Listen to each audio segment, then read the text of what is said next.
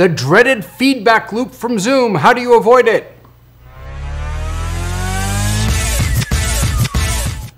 Hey everybody, uh, Rabbi David here, your Torah Tech Guy. So I decided to do a few short videos of just how-tos. Um, and uh, I want to start with how do you avoid that horrible Zoom feedback echo loop that can sometimes happen. So if you're in a hybrid environment and you've got um, uh, your, your people in person and you're using a sound system. So you're using microphones that amplify your voice in the room through speakers. And you've got Zoom that you're bringing into that room. Maybe you have a monitor set up. That's going to be another how-to, by the way. Maybe you have a monitor set up and um, you have people participating through Zoom in your hybrid service when that sound from Zoom is coming into your room, how do you avoid that echo feedback loop? That's what we, I want to talk about today. So there are a few sort of high level things that you can do, and then I'm going to give you a basic, quickie rule to get this done. All right. The first thing is take a look at how your room, your sanctuary or your library or your chapel, wherever you're streaming from, take a look at how that room is set up your microphone placement, your speaker placement, and sound treatment. So I have in my office here a few of these guys up on my wall. These are sound sort of absorbing, dampening things. I doubt that you're gonna wanna put these up in your sanctuary, but you should know that the more smooth, hard surfaces you have in your space, whether it's concrete or glass or uh, hardwood, the sound that comes out of your speakers is going to bounce all around the room and it's going to create on its own a little bit of echo, even just within your, forget Zoom, just within your room. And so the more soft, um, covered spaces, walls that you have. Maybe they're, you know, they're covered by books or you have some beautiful tapestries hung up. Anything like that, even carpet on the floor can make a big difference in deadening a little bit of the sound bouncing around the room. Another thing to think about is that, as I said before, speaker and microphone placement. Most of us just kind of have the speakers up and we want it to be loud for the entire room to hear. And we don't think about how much of that sound is actually getting picked up back through the microphones that we have up on the bimah you can position your speakers in such a way that they direct the sound to your congregation and that not much of it at all comes back up onto the bimah where your microphones are that can do a lot. That can really help in the sound quality overall with your hybrid uh, um, meetings or hybrid services, and particularly the people who are watching online. But now I want to give you sort of the basic rule of thumb, and it's really easy to remember. Ready? When Zoom is speaking, the room is muted. When the room is speaking, Zoom is muted. It's that simple.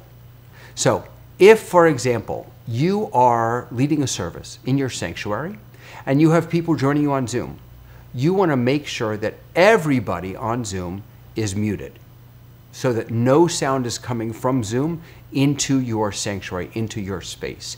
You can set this up in settings before you even start your meeting. Set it up so that upon entry, everyone is automatically muted. Or if you want people to maybe schmooze when they first come in, you can click that mute all button and or check the box that says do not allow people to unmute on their own, right? You should have control to the extent that you can over who mutes and who unmutes, not because you have bad actors, but because people forget and people press the wrong button and it happens. So, number one, make sure that when you're speaking, when you're using your sound system, that Zoom is muted.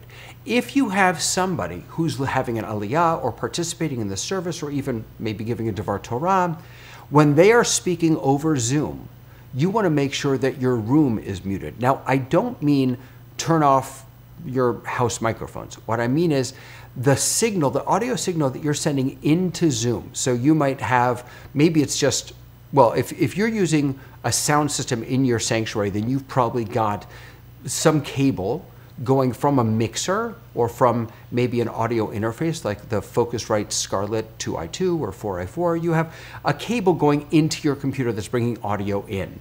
And that is the source, the audio source for Zoom.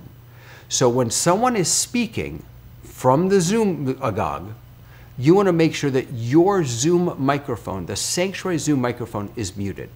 That way, whatever they say, when it's projected into your sanctuary, will not get picked up by your microphones in house, which are then going back into Zoom, and you won't get that feedback loop. Does that make sense? Okay, let me say it one more time because I'm not sure it made sense to me. When the room is speaking, Zoom is muted. I did it backwards the other time. When Zoom is speaking, the room is muted. When the room is speaking, Zoom is muted. You just have to make sure that one of those two things are, are muted. So if you're leading services, make sure that everybody in your Zoom meeting is muted. Not you. You want the people in Zoom to hear you, but everyone else.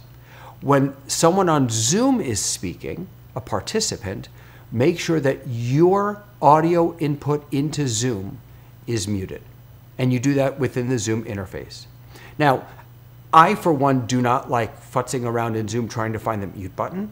So I might suggest, if you're interested, in using a Stream Deck in order to get that done. Let me show you what I, I've talked about this before. So this is a Stream Deck. And uh, it's got all these LCD buttons here. And I have, I'm not in Zoom right now, so it's not lit up, but this button right here is my mute button. So if I want to mute myself, I just press that button and it automatically mutes me. You can set up a Stream Deck, even just a six button Stream Deck, the little baby one, with two buttons, right? Mute all, mute me. Those are the only two buttons you need to avoid that Zoom feedback loop. When the room is speaking, Zoom is muted. When Zoom is speaking, the room is muted. That's how you do it. It's really not that complicated. It could be complicated. We could go into, you know, um, mix minus and all that other stuff, but none of us are interested in that. We're interested in getting the job done. How do I get this done easily? When the room is muted, Zoom, when the room is speaking, Zoom is muted. When Zoom is speaking, the room is muted. And if you want an easy way to get that done, maybe pick yourself up a Stream Deck. That's it. Hey, later today, by the way, I've got a nice uh, Torah Tech Tips coming to you with a third option. It's not just about on site, online, or hybrid. There is not a third option, another option. There is another option. That'll be at 4 o'clock today. I hope I'll see you there. And, uh, you know, that's how you do it. Bye.